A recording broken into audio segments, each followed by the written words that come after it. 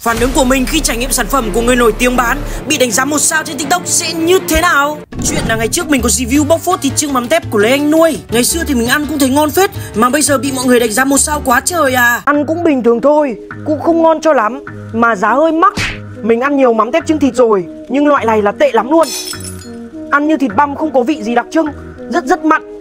Đã lầu lại nhưng vẫn còn mặn và quá nhiều dầu. Mình đổ ra rổ thì chắc được hơn lửa chén dầu. Nói chung là tệ. Đây là đơn thịt trưng mắm tép của Lê Anh nuôi Anh nuôi có gửi tặng mình cái thịt trưng mắm tép này khá là lâu rồi. Từ đợt hình như là tháng 3 thì phải. Mà bây giờ là gần hết hạn sử dụng rồi. Thì mình mới bỏ ra, mình có cơ hội mình trải nghiệm. Lâu lắm rồi. Bây giờ mình nhớ ra mọi người ạ, Bởi vì mình bị nhiều hàng quá ấy, Mọi người gửi nhiều hàng quá. Một hộp như này là 300g Thì mình thấy có rất nhiều người bảo là đắt. Nhưng mà mình thì thấy có đắt đâu, Bởi vì mình có phải mua đâu, Của tặng mà.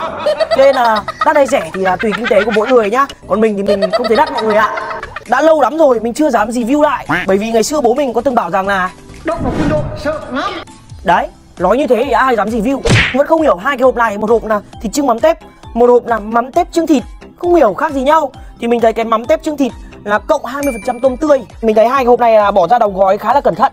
Thành phần của nó sẽ là thịt lợn tươi thịt tôm tươi mắm tép mắm tôm mỡ lợn tươi dầu điều xả riềng hành khô mắm tép trưng thịt cộng 20% tôm tươi sẽ có nhiều thành phần hơn nhiều gia vị hơn. Cái thịt trưng mắm tép này hai hộp này đều là 300g ở đây ai mà thích ăn mắm tôm thì khả năng là sẽ không được như ý đâu bởi vì là cái này à, nó chỉ có hơi hơi có mùi mắm tôm thôi chứ nó không có lồng lặc mùi mắm tôm đâu mọi người ạ.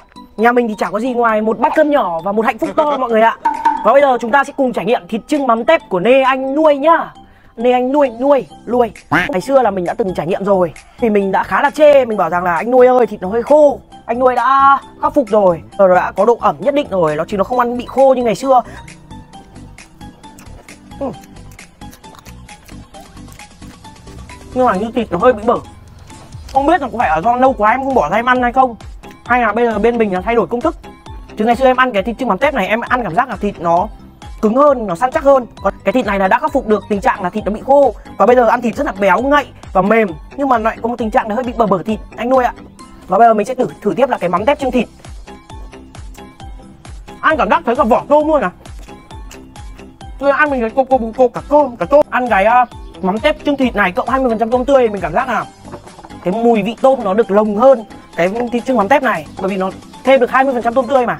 Sau khi ăn hai cái thịt trưng mắm tép và mắm tép thịt trưng này mình cảm thấy rằng là nó không có cái mùi vị mắm tôm quá là lồng. Bản thân mình là một người cực kỳ cực kỳ sợ mùi mắm tôm thì ở đây là mình có thể ăn được dễ dàng, bởi vì cái mùi mắm tôm gần như là nó không thấy. Nó chỉ có hơi hơi, thoang thoảng một chút thôi.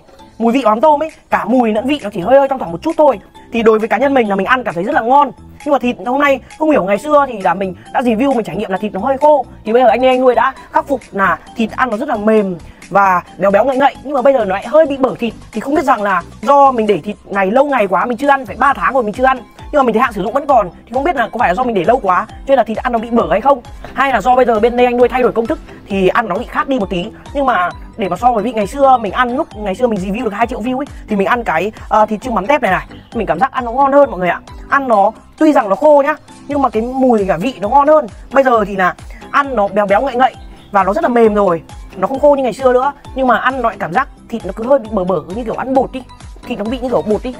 Nói chung là như ngày xưa mình cảm giác ăn ngon hơn còn để mà đánh giá thì mình thấy rằng là hai cái loại này cũng khá là xứng đáng để ăn. Có đâu đắt hay rẻ thì là tùy mỗi người. Bởi vì là hai cái lọ này là mình được tặng. Cho nên là mình thấy nó cũng rẻ mà.